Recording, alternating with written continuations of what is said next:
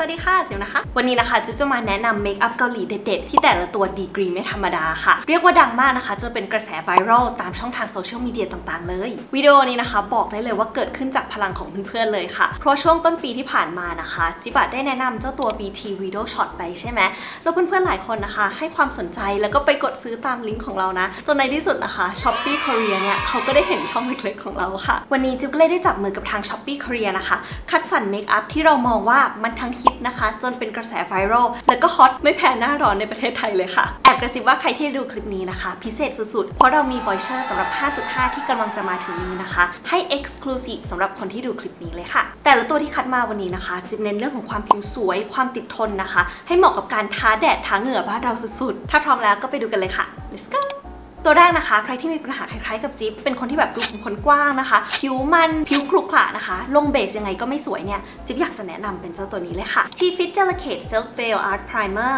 เจ้าตัวนี้นะคะเป็น primer ที่เขาดังมากๆในโซเชียลของฝั่งเกาหลีนะคะ เพราะเขาขึ้นชื่อในเรื่องของการเบลอผิวเลยค่ะ หลายๆคนที่เคยใช้ primer สไตล์เบลอรูขุมขนเนี่ยน่าจะเจอปัญหาคล้ายๆกับจิ๊บนะคะหนึ่งก็คือถ้ามันไม่ได้แบบแห้งมากหรือว่า matte มากจนผิวลอกเป็นขุยออกมานะคะ ก็คือจะเป็นเรื่องของความหนักหนาค่ะ แต่เจ้าตัวเนี้ยเหมือนเขาออกแบบมานะคะให้แก้ปัญหาเก่าๆ ที่เรามักจะเจอกับพวก primer สไตล์เนื้อ matte แบบนี้ จะมีความเบามากๆนะคะ มันแบบสบายผิวมากๆทุกคน คือต่อให้ทาไปทั้งวันนะ มันไม่รู้สึกเหมือนกับมีอะไรแบบมาเพิ่ม layer อยู่บนผิวอะแล้วเจ้าตัวเนี้ยจิ๊บไม่เคยเจอปัญหาแบบเป็นคราบเป็นขุยออกมาเลยนะคะ คือต่อให้ระหว่างทามันอาจจะรู้สึกว่าเฮ้ยมันจะเป็นขุยออกมาหรือเปล่า แค่เราเกลี่ยๆไปนะคะ มันจะกลืนกับผิวไปเลย ที่สำคัญอะคือจิ๊บรู้สึกว่าเขาว่าเกาะผิวดีมากนะคะ อย่างที่บอกอะมันไม่รู้สึกเหมือนมีอะไรอยู่บนหน้าใช่ปะมันจะให้ look นะคะ ที่ผิวอะดูมีความเบลอมีความฟุ้งขึ้นนะคะ แต่ว่ามันก็ยังเป็นแบบผิวเป็นผิวอยู่อะทุกคน คือมันจะไม่ได้ดู cakey ดูหนักดูหนาหน้าเลย ทางแบรนด์เคลมว่าเจ้าตัวนี้นะคะ เป็น 12 hours water and sweat proof นะคะจิ๊บสังเกตว่าวันไหนที่จิ๊บใช้เจ้าตัวนี้นะคะ เป็นเหมือนกับตัวลงก่อนที่จะลงเบสตามเนี่ย แต่งหน้าตอนเช้านะคะ ทั้งวันกลับมาแล้วเนี่ย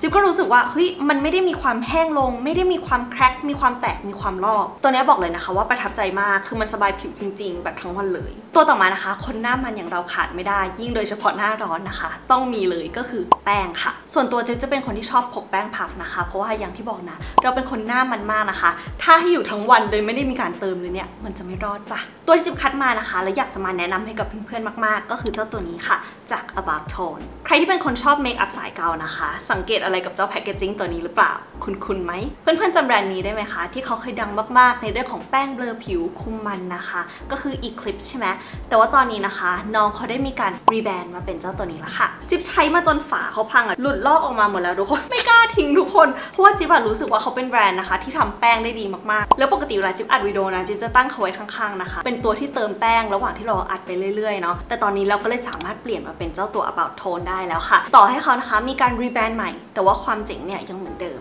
เรื่องเนื้อแป้งเนี่ยคือหายห่วงเลยนะทุกคนคือใครที่เคยใช้แป้งของแบรนด์นี้นะคะ จะรู้เลยว่าเนื้อของเขาอะคือมันดีจริงๆอะเนื้อแป้งของเขาจะมีความละเอียดมากนะคะ ช่วยในการเบลอผิวได้ดีสุดๆ ไปเลยและที่สำคัญนะคะ คือเขาช่วยในการคุมมันได้ดีด้วยนะคะ แต่ไม่ทำให้หน้าของเราแห้งเกินไป จุดเด่นแรกของเขาเลยเนี่ยคือเขาช่วยในการเบลอรูขุมขนนะคะ ได้ดีมาก นอกจากนี้เขายังเป็นแป้งที่ราคาน่ารักนะคะ แต่จิ๊บรู้สึกว่าคุณภาพของเขาอะมันระดับพอๆกับเคาน์เตอร์แบรนด์ได้เลยอะ มันจะให้ลุคผิวนะคะ ที่ดูมีความแบบเนียนๆฟุ้งๆ และด้วยความที่เขาดังเรื่องแป้งอะเขาก็จะมีหลายรุ่นเหมือนกันนะคะ แต่ว่ารุ่นที่ดังที่สุดปังที่สุดขายดีที่สุดของเขาเนี่ยก็จะเป็นรุ่นตลับดำค่ะ เจ้าตัวนี้นะคะทางแบรนด์เคลมว่าเป็นแบบ hypoallergenic ด้วยนะคะ แล้วก็เป็นแบบวีแกนด้วย อย่างจิ๊บนะคะก็ประมาณ NC 20 NC 25นะคะ จิ๊บจะใช้เป็นสี 02 Light ค่ะ ส่วนตัวจิ๊บนะ ถ้าจะมีจุดสังเกตของเจ้าตัวนี้นะคะ คือจิ๊บรู้สึกว่าเฉดสีที่เขามีให้เลือกอะค่ะ มันจะค่อนข้างน้อยนิดนึงก็คือเขามีทั้งหมด 3 เฉดสีนะ ถ้าใครที่แบบสีผิวเข้มมากๆค่ะทาเจ้าตัวเนี้ยมันอาจจะไม่ได้เหมาะกับหน้าขนาดนั้น ต่อมานะคะเราจะมาพูดถึงเทรนที่เรียกว่าดังนะคะ เป็นไวรัลไม่หยุดเนี่ยก็คือเทรนถังหูรูค่ะ ใครนะคะที่อยากปากฉ่ำเหมือนถังหูรูนะคะ ต้องเป็นเจ้าตัวนี้เลยค่ะ Colorgram Fruity Glass Tint ขนาดขวดเนี่ยเขายังทำเป็นเหมือนถังหูรูเลยค่ะทุกคน เจ้าตัวเนี้ยจะเป็นลิปลูกผสมนะคะ ระหว่างทินกับลิปโกลค่ะคือเขาจะให้ลุกปากฉ่ำแวววาวเหมือนกับเคลือบน้ำตาลอยู่จิ๊บเคยเห็นคนรีวิวเจ้าตัวนี้นะคะใน TikTok แล้วก็แบบโหทุกคนมันเป็นจุดเริ่มต้นที่ทำให้จิ๊บอยากได้เขามาลองเลยนะคะ ก็คือเขาอะเป็นลิปที่ปากฉ่ำนะคะ แต่ว่าสีติดทนมาก ซึ่งอันเนี้ยจิบรู้สึกว่ามันเป็นจุดเด่นหลัก ๆ เลยนะ ที่จิบรู้สึกว่าเจ้าตัวเนี้ยเป็นตัวที่จิบอยากจะมาแนะนำนะคะ โดยเฉพาะสำหรับช่วงซัมเมอร์ออกไปเหงื่อออกบ้างหน้ามันบ้างนะคะ หรือว่าแบบเออไปกินอะไรเย็นๆ เจ้าตัวเนี้ยเป็นลิปที่จิ๊บทดลองนะคะ กินข้าวกินน้ำอะไรพวกเนี้ยลิปมันก็ยังสีติดอยู่อะทุกคน แล้วสีของเขาก็คือชัดมากนะคะ คือทาแล้วเนี่ยเด่นขึ้นมาเลย สีที่จิ๊บได้มาเป็นสี 04 นะคะ สี adorable berry นะคะ คือทางแบรนด์เขาบอกว่ามันเหมาะกับคน warm tone ใช่ไหมแต่จิ๊บรู้สึกว่าน่าจะเหมาะกับคนแนวแบบสปริงมากกว่าคนที่เป็นแบบสาย autumn แบบเราสำหรับเจ้าตัวนี้นะคะ จิ๊บเลยจะชอบใช้เขาเป็นสไตล์แบบ point color มากกว่า ที่จะใช้แบบทาแบบ full lip ค่ะ ความรู้สึกของเขานะคะ เวลาทาลงปากไปแล้วเนี่ยมันจะให้ความรู้สึกเหมือนแบบปากเรามีอะไรมาเคลือบอยู่นะ เคลือบแบบเคลือบบางๆ จริงๆอะทุกคนมันไม่ได้เคลือบแบบรู้สึกหนักปากเหนอะปากนะคะ มันจะแค่รู้สึกเหมือนกับว่าเออมีอะไรมาห่อหุ้มปากอยู่เฉยๆแล้วถ้ายิ่ง build layer ไปนะคะ สีของมันอะจะมีความแวววาวมากขึ้น และเป็นสีลิปนะคะ ที่ทาคู่กับพวกลิปกลอสเนี่ยจะสวยมากเลย ซึ่งลิปในลายนี้นะคะ ด้วยความที่เขาออกแบบมาให้มันสไตล์แบบเออเนี่ยถังหูลู่นะคะ ดูมีความแบบเคลือบน้ำตาลดูมีความผลไม้อย่างนี้นะคะเจ๊ก็เลยรู้สึกว่าเขาออกเฉดสีมานะคะ ค่อนข้างเน้นไปแนวแบบความสดใสนะคะ ถ้าสมมติใครที่ชอบโทนสีตุ่นๆ แบบจิ๊บเนี่ยมันก็อาจจะยังไม่ได้มีเฉดสีให้เลือกเยอะขนาดนั้น แต่ถ้าใครชอบสไตล์สีแบบสดใสแบบทาไปแล้วนี่คือแบบปากเด่นขึ้นมาเลยนะคะ เจ้าตัวเนี้ยจะตอบโจทย์มากๆ แต่เรื่องของความติดทนความสเตนของเขาเนี่ยคือจิ๊บยอมใจเขาจริง ๆ ทุกคน คือเนื้อเขาทำออกมาได้ดีมากเลยนะคะจิ๊บแค่หวังว่าเขาอาจจะมีหลายสีมาให้เราเลือกมากกว่านี้ อันนี้คือที่จิ๊บทาไปเมื่อกี้นะคะ จิ๊บปล่อยเขาเสร็จตัวสักพักนะทุกคนแล้วก็คือสเตนเขาทนจริง ๆ ทุกคน อะเดี๋ยวที่ปากด้วยนะ สมมติอันนี้นะคะ ทาไป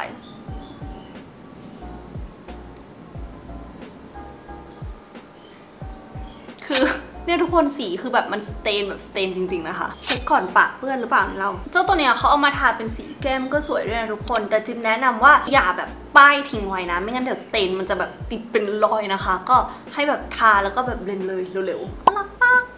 ใครนะคะกำลังมองหาลิปปากฉ่ำนะคะ ที่มีความติดทนแพคเกจจิ้งน่ารักเนี่ย เจ้าตัวนี้นะคะ จะเป็นตัวที่จิบแนะนำเลย น้องล้างไม่ออก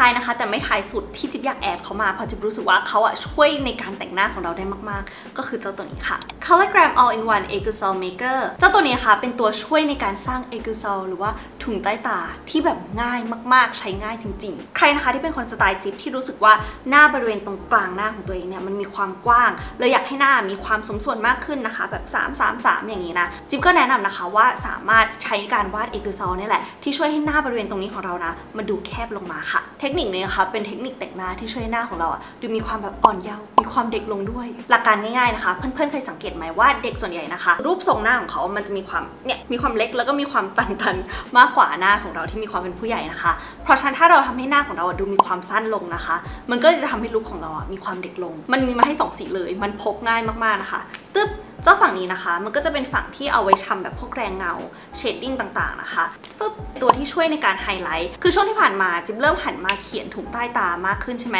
จิ๊บก็เลยไปศึกษานะคะว่าเฮ้ยทำยังไงให้มันเขียนออกมาได้ดูดีอะทุกคน คือเขียนออกมามันต้องไม่ดูว่าเฮ้ยเราดูเป็นคนเหนื่อย จิ๊บก็เลยได้ไปดูเทคนิคนะคะ การเขียน애교살มาแบบหลายวิดีโอมากๆ แล้วข้อหนึ่งจิ๊บสังเกตว่าเมื่อก่อนอะจิ๊บอาจจะแบบทำได้ไม่ถูกวิธีมาตลอดนะคะ ก็คือการที่จิ๊บอะจะใช้แค่พวกแบบแรงเงาในการ shading ในการ contour ใต้ตานะคะ ความจริงแล้วอะการที่จะทำเอกูซอลให้มันดูแบบมีความธรรมชาตินะคะ นอกจากแรงเงาแล้วเนี่ยเลยยังต้องมีการไฮไลท์ด้วยค่ะ วิธีนะคะง่ายๆเลยก็คือใช้เจ้าตัวฝั่งที่เป็นแรงเงาเนี่ยช่วยในการเขียนถุงใต้ตาข้างล่างก่อนนะคะ จากนั้นก็ค่อยใช้ฝั่งที่เป็น highlighter นะคะ ในการไฮไลท์แล้วก็ blend blend blend ออก มันจะได้ถุงใต้ตานะคะ ที่ดูมีความธรรมชาติ แต่ก็ยังมีความเด่นชัดอยู่ เขามีหลายสีให้เลือกเลยนะคะ แต่ว่าสีที่จิ๊บได้มาเป็นสี 01 นะคะสำหรับ warm tone เจ้าตัวนี้ก็แบบเด่นชัดเหลือเกินนะคะ อันนี้จะเป็นสีสำหรับในการทำ shading แล้วก็เนี้ยจะเป็นสีในการไฮไลท์นะคะ glitter นิดนึงนะคะ แต่ว่าไม่ได้แบบ over the top นะ คือพอ blend ออกมานะคะ มันจะแบบ blend ง่ายเกลี่ยง่ายชอบ หรือว่าใครนะคะที่อาจจะแบบไม่ได้ชอบสีนี้ อยากจะแบบใช้สีอื่น แบบเฮ้ยเป็นคนคูโทนค่ะ หรืออยากได้สีที่มีความติดชมพูติดส้มอะไรพวกเนี้ย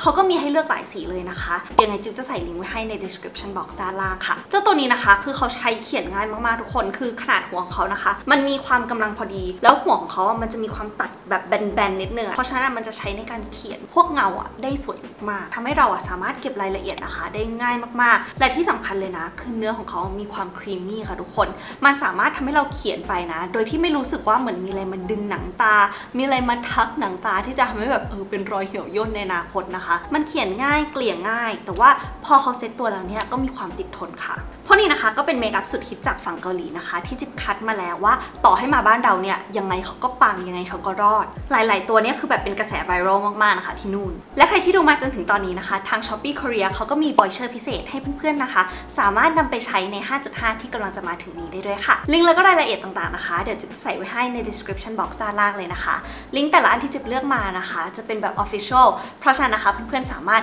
เลือกซื้อนะคะ ได้แบบสบายใจเลย 5.5 นี้เตรียมตัวกันให้ดีๆเลยนะคะ ถ้าเพื่อนๆรู้สึกว่าวิดีโอวันนี้ได้ให้ประโยชน์กับเพื่อนๆนะคะก็อย่าลืมกดไลค์กดแชร์กด subscribe แล้วก็ลืมกดสั่นกระดิ่งจะได้ไม่พลาดเวลาจิบอัปโหลดวิดีโอต่อๆไปค่ะ วันนี้ไปแล้วนะคะ